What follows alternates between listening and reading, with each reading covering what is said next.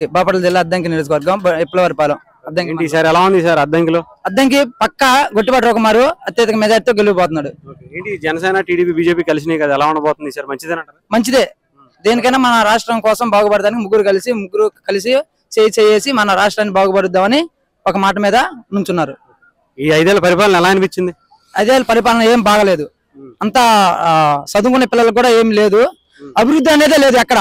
మూడు రాజధానులు అన్నాడు. మూడు రాజధానులు చేసింది లేదు ఏమీ లేదు. ఒక రాజధాని లేదు. రైట్ ఈసారి అయితే మళ్ళీ కూటమి రావాలనుకుంటున్నాను ఆ కూటమి రావాలనుకుంటున్నాం. చంద్రబాబు నాయుడు గారు సీఎం కావాలనుకుంటున్నాం. జై గుడ్ నేను ఎలా అనిపించింది ఈ ఐదేళ్ళ పరిపాలన? బాగలేదు. ఏమీ బాగలేదు. అది ఇన్ఛార్జి మాకు ఇయ్యలేదు. అది గొట్టిపాటు గొట్టిపాటు అనుకు వేరే అనుకున్నారు. ఈసారి మరి ఎవరు వస్తే బాగుంటుంది అనుకుంటున్నారు? చంద్రబాబు నాయుడు. వస్తే మంచి జరుగుద్ది అనుకుంటున్నారు? లేదు మంచిదే జరుగుద్ది. ఈ పవన్ కళ్యాణ్ కూడా కలిసాడు కదా మంచిదే? మొ- మొత్తం కలిసి. మంచిదే? కలిసి వస్తారంట? మొత్తం మంచిదే.